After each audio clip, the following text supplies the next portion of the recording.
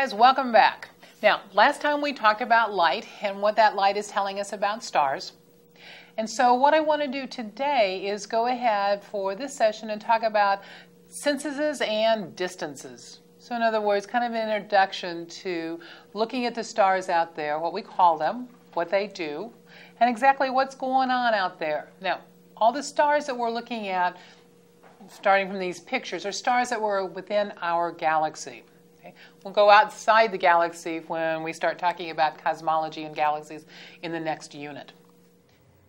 So, as we start talking about census and distance, we're talking about what kind of stars are out there and how far away they are. Now, remember, our sun's only 93 million miles away, but that's our nearest star. And man, once we get to the next one, it's really far away. So, think about distances. These are stellar distances, not distances within our solar system. And the distances to stars are measured in light years. Now, I know the word is light years, and it's given the um, symbol the y or ly. But guys, it really is measuring a distance. And a light year is the distance that light travels in a year. Now remember that the speed of light is 3 times 10 to the 8th meters per second, or if you're not used to thinking about the metric system, it's 186,000 miles per second. Think about that, guys 186,000 miles per second. Certainly never going to be a velocity that we even remotely approach.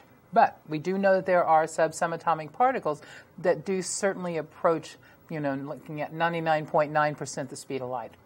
And when we talk about cosmology and the universe and what it's like, we'll find out that when we talk about a black hole and light can't escape from a black hole, that things get really weird as you start going those appreciable percentages of the distance that light travels. So when you get up to 99.9% the speed of light, your time changes, and your length does some weird things, and your mass does some weird things. So we'll go ahead and talk about that then.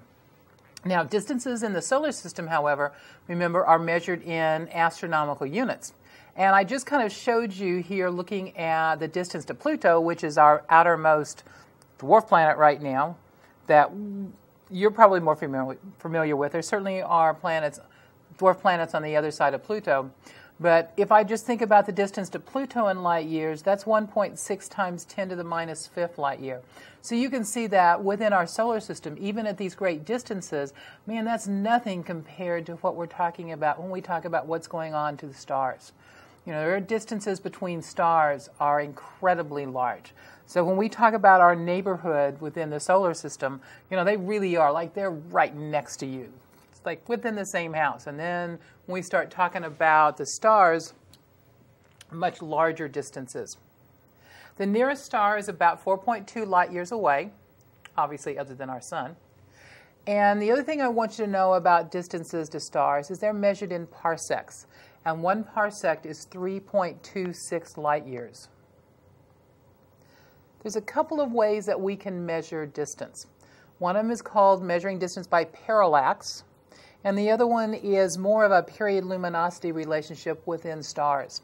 So I want you to think about parallax. Okay, I want you, physically do this, guys. Uh, although I can't see you do this, but I want you to physically do this. I want you to hold one arm out in front of you at arm's length and put one finger up. Okay? So I've got my arm out at arm's length and I've got one finger that's held up. And I want you to open and close one eye. So you're opening and closing that eye. And what you should see is you should see the background that you're looking at shifting. Well, that background as it shifts is what we call parallax apparent shift of the star in this case due to the way that I'm looking at that star. Well, that gives me an indication then on how much that background is switching, where that star is. And part of the problem that we had, the ancient people did in first looking at stars and trying to determine the distance was they couldn't measure any parallax. And that's because the stars were so far away. You know, we simply can't see that shift in background because they're so far away, so we just felt like they weren't that far then. So now if we talk about a precise period luminosity relationship, that comes out with what's going on within the star itself. And we find there's two kinds of variable stars. One of them is called a Cepheid variable star, and the other one's an IR, excuse me, an RR Lyra star. And it works great because these things have very precise period luminosity relationships. Now remember luminosity we're talking about is that energy per unit time, so we're talking about power. Another way a lot of people think about it, although it's incorrect, is looking at a brightness, so a period and a brightness relationship.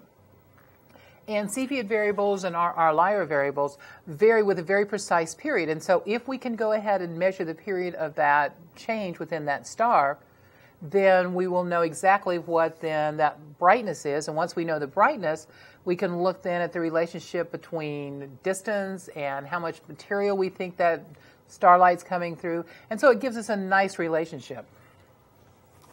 Now, if we look at something called spectroscopy, well, that's really the study of light as it breaks down into its component parts. And we had talked a little bit about that last time when we talked about the spectrum of stars. And so, really, when we look at stars, we are talking about looking at the light, uh, which is called photometry, and then we look at taking that light and breaking it down into its component parts, and that's really called the spectroscopy. And both of those become extremely important in looking at the characteristics of those stars. Now, from those stellar spectrums, and we again, I alluded to this last time we talked about that, but I think it's well worth it bringing it back up again. Look at all the things that you can come up with from these spectra. We can talk about composition, abundance, pressure, and density, temperature, you know, rotational speed, radial velocity, all that kind of stuff. And remember, this is the only way we have of finding out a lot of that information from the stars. So it's very important that we make these measurements. And you've seen this picture before too. That's a sun spectra. Notice that you've got this nice continuous spectrum, the red, orange, yellow, green, blue, and violet, with this absorption spectrum on top of it. And very distinct patterns within that absorption spectrum will tell us then what the chemicals are in the outer envelopes of the sun. Remember, guys, we're not going to be able to tell anything below the surface, that photosphere, simply because we can't see into the interior. We have to use other ways to do that. Hopefully, guys, between last time and now, you had a chance to go listen to the sun singing you know, about those vibrational modes within the sun. Now, we haven't talked about um, looking at characterizing those stars based on their spectra. Remember, we talked last time about the three different types of spectra the continuous, the bright line or emission spectrum, and then the dark line or absorption spectrum. But taking those spectrums into account, and I'm going to look at these stars, how do I classify those stars? Well, I want you to know that the primary reason that stellar spectra are going to look different is because those stars have different temperatures. And let me stress, when we look at those temperatures, we again are talking about the temperatures within that photosphere and that area. We're not talking about what's going on within the star, nor are we talking about what goes on within the core because that's the only place that we've got the light coming from is from that photosphere. Okay, so that's then tells us something about the materials that make up the photosphere and the temperature that those materials have. Now, the different temperatures are going to cause those chemicals to behave differently. They can become ionized. Now, ionized simply means that I take an atom and I strip off the outer electrons Therefore, you have ions, and those I can strip off one, I can strip off two. It just kind of depends on the energy that's going to be required to strip those electrons. We know when we talk about the atoms inside the core of the star, those temperatures are so high and those pressures are so great that we do not have an atom inside the core. We have what's left of that atom after you strip off the electrons, in which case we're talking about the nucleus of the atom. And as those chemicals then become ionized, then they're going to behave differently than their neutral atom, in which case all my electrons are put back in there. Now, the other thing is you can also go ahead and look at the different spectrum lines, and you're going to be able to identify what those particular chemicals are based on that temperature. We find that the hottest stars tend to have very little lines in their spectra. Now, let's think about that. They have very little lines. Well, I've got the lines in there that are corresponding to those electrons jumping up from higher energy levels down to lower energy levels. So that's when that energy gets given off. Well, if those electrons are completely gone and they've been stripped away because of the really hot temperatures, then it makes sense that I'm not going to see too many lines because I don't have too many electrons there to go ahead and absorb or radiate that energy off. And so I'm going to show you a picture here, kind of a diagram of what they look like. And then I'm also going to take you to the internet and go ahead and have you look at some stellar spectra and show you what it means when we talk about a star that doesn't have very many spectral lines compared to a star that's extremely cool, in which case you have not only atoms, but you have molecular lines that tend to show up. We've said this before, guys. Just want to keep reminding you most of those stars, or the majority of the material in those stars, are hydrogen and helium. But yet, when we look at these envelopes of stars, that's where you get a lot of the other chemicals that you have in there. And so when we look at our sun, I showed you a picture of the sun that was taken with uh, kind of a greenish color that was basically showing the iron in the sun. We're just looking at what's going on within that surface. So in general, the younger the star, the greater amount of those heavier elements that you're going to see. We talked about our sun being a third generation star. Okay, because it is a younger star, it's made up of a third generation star, you're going to see more of those heavier elements. And unlike every other science discipline out there, when we talk about heavier elements, we're talking about anything that's basically beyond helium. If I'm a physics person and I talk about a heavier element, I'm talking about things like uranium and, and those kinds of elements. The hottest stars are going to be classified as O-type stars. And yes, guys, I do want you to go ahead and know the order of this. So the hottest stars are classified as O-type stars, and the coolest stars are classified as M-type stars. And then we now have some other divisions. We've got an L-type star, things like that. And each class then is divided into 10 subcategories. So it's O, B, A, F, G, K, M, and then sometimes you'll see that L. So O, B, A, F, G, K, M, and L. Now, this is that graph that I was talking about. Am I ever going to have you repeat this on a test? Absolutely not. But I at least want you to be familiar with it so if you saw that with all the labels on it, you kind of understand what it means. So now look at the bottom. We have plotted spectral classes. Now notice on this one I did leave out the L since that was not one of the traditional ones. So O, B, A, F, G, K, and M. Now for those of you that might have a hard time remembering the order, we have a little saying that goes along with that order. Now, first thing I want you to remember that most early astronomers were men. And then ladies, we'll talk about how we've kind of redone that for the women. Okay, so remember if you're an early astronomer, you're probably a man. Okay, O, B, A, F, G, K, M stands for, to help you remember it, O, be a fine girl, kiss me. So, O, be a fine girl, kiss me. And we have some other ones which I, you know, the R and the M and the L. You can do that right now, smack, of whatever. But at least the main parts, O, be a fine girl, kiss me. So, ladies, the way that we rewrote that for us was, Oh, be a fine guy, kiss me. Luckily, girl and guy start with a G, so it works out really well. So, guys, if you need to have something to kind of help you memorize it, that little sentence works really well. So, on the horizontal axis or the x axis, then we have spectral classifications. And we will come back to what that spectral classification means when we start talking about the HR, HR diagram here real shortly. And then on the vertical axis or the y-axis, we have relative strengths of the types of chemicals that we're talking about. Now you can see in those O-type stars, notice I have in green listed as very hot stars, and I have the M stars listed as very cool stars. So if I look at that blue line and notice that they kind of overlap going all the way over, it look like kind of a nice, you know, skyline of a bunch of mountains. The O-type stars have a number of ionized helium. So that's what the relative abundance of what I see in those O-type stars are ionized helium. For a B-type star, I'm looking at neutral helium. Neutral helium means that I have all my electrons in there. And if you remember your periodic table, guys, helium has two protons, two neutrons. And when it's neutral, it has two electrons. Electrons being electrically negative, protons being electrically positive. Now I get down to an A type star. I have lots of hydrogen in there that's showing up.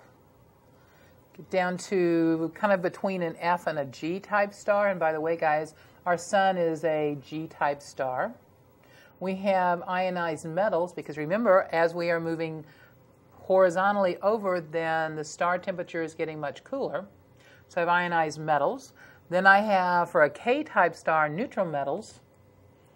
And then by the time I get down to those M-type stars, like I said, they're cool enough that you're actually able to keep the molecules together. And as we talk about the evolutionary sequence of stars and what they're doing, we'll kind of talk about how the temperature of that star is changing and why you then get a change of what you see in the atmosphere due to that temperature change. Now, if I look at every one of those stars there, and there's a lot of them, and if you look closely, guys, you see a lot of color in this picture. Well, that color of that star is certainly going to give us an indication then of the temperature of that star, which gives us temp- an indication then of what the star is doing in its evolutionary sequence, how it's going to change, all these other characteristics that go along with looking at the envelope, the outer envelope of the star. Now, the other thing I want to point out is all those stars are in our galaxy. And so for this chapter, or this unit, we're really only going to be talking about just the stars within our galaxy. And then as we go ahead and move out and talk a little bit more of other galaxies and you know, cosmology in general and what our universe is doing, we'll come back to the fact that we see what's going on within our galaxy of these stars in terms of other galaxies. And so it helps us make some assumptions about what's happening out there. I still like this picture, though, guys. There's a whole lot of stars in that picture. And we also know that, as we've talked in the last time over solar systems, that a lot of those stars probably have solar systems. Are we ever going to be able to, you know, send a message out there and get a message back from one of those really, really, really distant stars? Probably not, but it doesn't mean that they don't exist and that they might have somebody out there that's doing exactly the same thing that we're doing right now and looking at us instead of us looking at them. Now, you need to become very familiar with something called the HR diagram because really that's going to tell us what's going on within the star and more importantly, how that star is going to evolve and change through its lifetime. Now, HR stands for Hertzsprung Russell, so obviously they both discovered it right around the same time, and so they both got credit for it. And it's a plot of absolute magnitude versus spectral classification and temperature. And there's a couple of ways that we're going to look at the plotting of the HR diagram. I don't care which way, you know. Most people look at it as brightness and temperature, but it's probably more correctly absolute magnitude and spectral classification. But the shape of the HR diagram looks exactly the same. Like I said, we use the HR diagram for looking at what's going on within the star, looking at the characteristics of that star, and then what happens as the star moves through its evolutionary sequence. And it gives us a feel then for the characteristics and the behavior of what that star is doing. Now, this is a picture of the HR diagram without um, axes on it. And no, it's not really just a bunch of bees flying around or birds flying around. It's actually an HR diagram, and so we've got stars plant, plotted. Sorry about that, guys. Plotted on there instead of all these, you know, birds that it looks like flying around or bees or something like that. Now, notice that you've got a single main line coming through that HR diagram. We're going to call that the main sequence line, and that's that really dark line that starts up at the upper right and continues down through the lower left. And notice that as it continues, boy, that was wrong. How about upper left down through the lower right? Okay, so as it continues from the upper left down to the lower right, notice it's going to get wider. And in fact, it's the widest down at the lower right and thinnest at the upper left. And then about halfway through there, notice it kind of takes off toward the upper right and then gets kind of wide and a little bit thinner there, or a little bit wider, a little bit not quite as intense, and kind of heads up to the upper left part as well. And then we've got this line that's in the lower kind of center of it and comes from the middle down to the right again. Well, each one of those correspond to a particular area. And the HR diagram you guys are going to have, in fact, that you've got, um, is one that's going to be labeled and looks probably a little bit more like this. But I just thought that other one was kind of cool with the colors, and you just kind of get a feeling for what it looks like to start with. So let's look at an HR diagram that does have plots on it and, and, does have axes labeled, things like that. And so that's what you see right here. And so those regions within the HR diagram have very specific names and have then very specific stars on what's going on. But let's start with our axis. Notice that you have on the vertical axis, you have that listed as luminosity. And then we've got the horizontal axis listed as temperature. And then we also have listed as spectral types, the O, B, A, F, G, K, and M.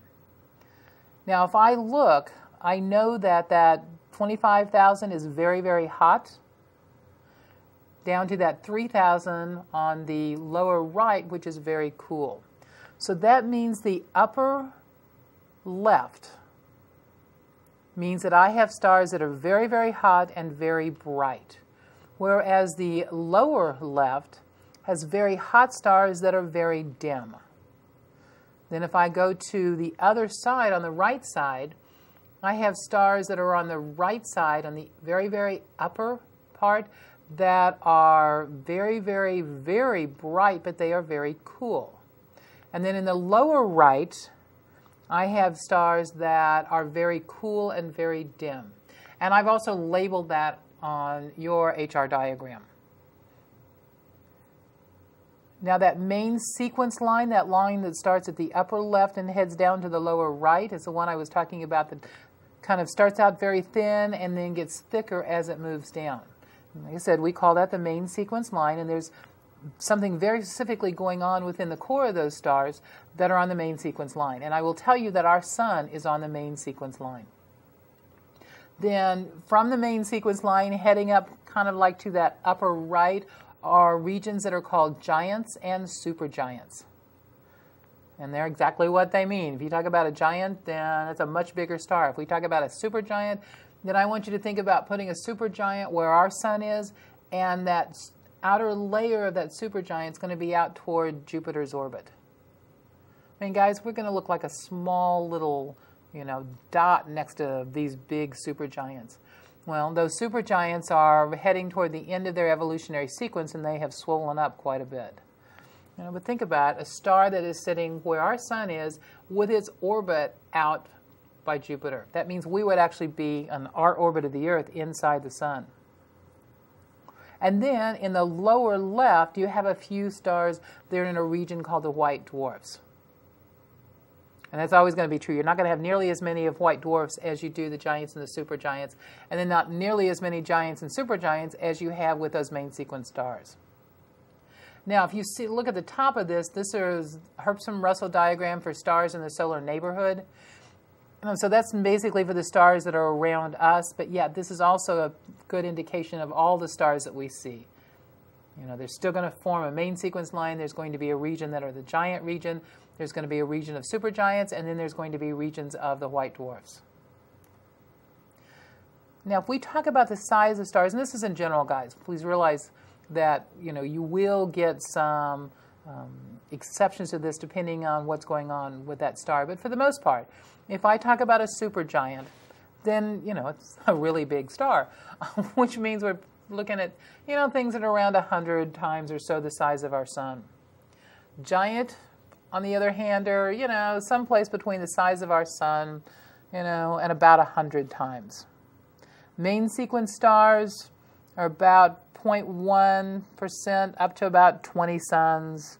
You know, that's a main sequence star. White dwarfs, which I know we haven't talked about white dwarfs and brown dwarfs yet, and we will just a minute. Uh, white dwarfs tend to range from about 0.01 to about 0.1 times the size of our sun, and those are the ones that were in the lower um, left-hand side. And then those brown dwarfs are at the very end over there at the lower right, almost right below that main sequence line. And they're stars that are very tiny. And so we find that they certainly are not going to go through the kinds of evolutionary sequences that the main sequence star is doing, going as a giant or a supergiant and ending up as a white dwarf. So brown dwarfs just have a little bit different characteristics, and sometimes you talk about them as substars as opposed to just a little brown dwarf. Now, if we think about a star on that main sequence line, and we're certainly going to talk about uh, the HR diagram here before too long and spend a great deal of time talking about what's happening there. But that star in the main sequence line spends about 90% of its total lifetime on that line. And that's because when we look at what's going on within the core, it's converting hydrogen to helium, and so it's doing what a normal star does. So that means, guys, when it moves off the main sequence line, we are not necessarily, in any way, shape, or form, converting hydrogen to helium. We're doing something else.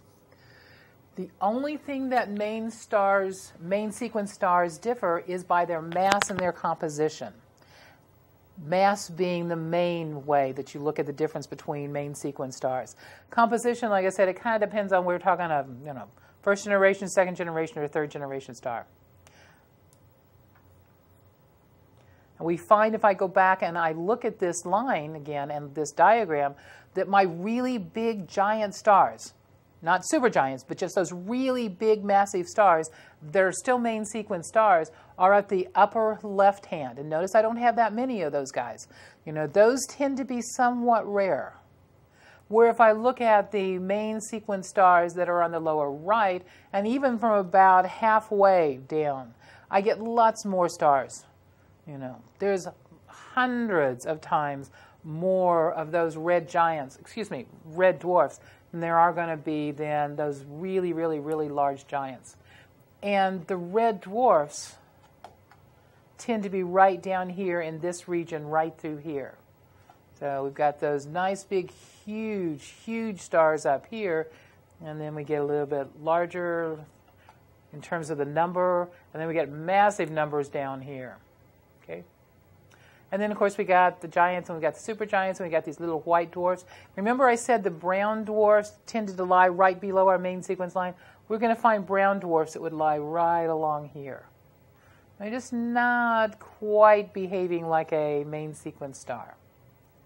Now, if I look at where our sun is, our sun, notice that that's the luminosity of our sun, is kind of right there. We're finding we're a G2 star so, you know, we're right about this region right through here. Remember when we first talked about our sun? Our sun um, is larger than about 85% of all the stars out there. Well, this this is what I'm talking about. There's, you know, about 15% of the stars are above here. About 85% of the stars are back down here.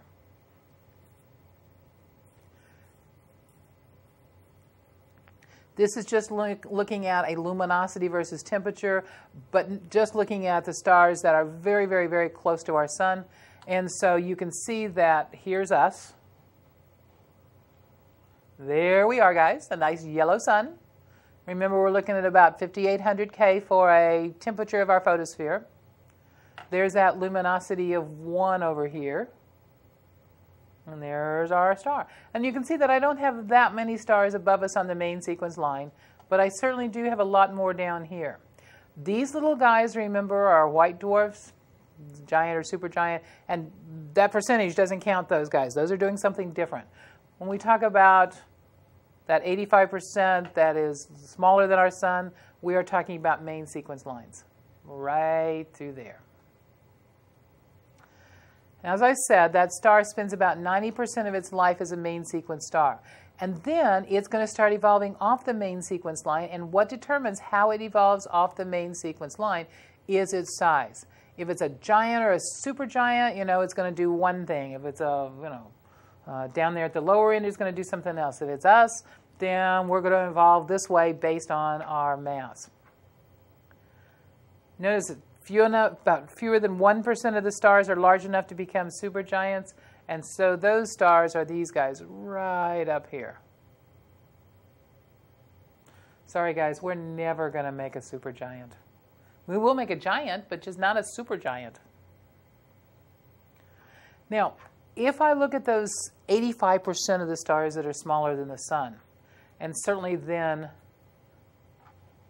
these stars right here, then we find that you know all they're going to do is just continually basically cool off until they're no longer visible. You know, and we know those low mass stars are the most numerous throughout the galaxy, but you know, I tend to like stars that go off with really big bangs or form neat patterns when they go off. So, you know, we've never really seen those small red dwarfs do anything more than gradually cool off. And in fact, we've really never seen one of those small red dwarfs actually go through its entire evolutionary sequence. And we will find some globular clusters that seem to have a lot of new stars in them. And so something obviously has been going on. And when we talk about galaxies that are colliding, things like that. We'll come back and talk about why some of those globular clusters might have lots of new stars in them. So, what's happening? Which means that you've got to have a lot of gas and dust in there to go ahead and get those stars to form. So, with that, guys, I want to go ahead and leave this one. And our next section, which will be short as well, we'll be talking about gas and dust clouds in space. Once we finish that, then we're ready to head on and really start looking at stars and making stars. So, with that, talk to you later.